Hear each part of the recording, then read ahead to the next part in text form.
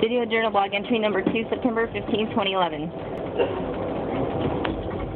Second time in one year we've closed in past these houses.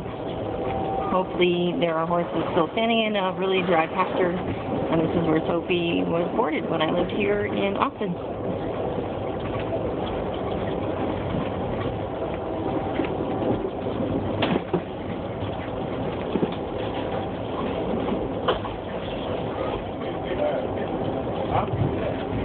Okay, coming up on the,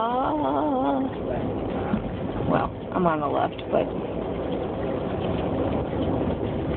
there it is, right there, still there. Still horses there. That's good. And boy, is it dry. Look at that jumping course. Looks like heck. Looks like a fire got it. Good to see it's still hanging around.